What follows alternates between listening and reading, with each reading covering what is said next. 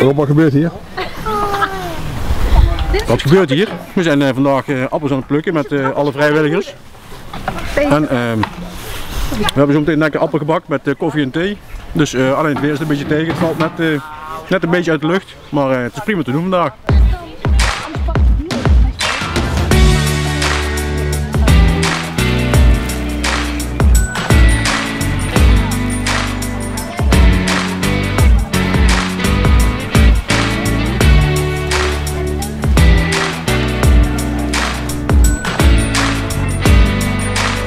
Is het elk weekend? Nee, niet elk weekend. Appels plukken doen we één keer in het jaar. En dat is eh, vandaag eh, 26 september. Toevallig op eh, Nationale Burendag, maar eh, dat was dan een toeval.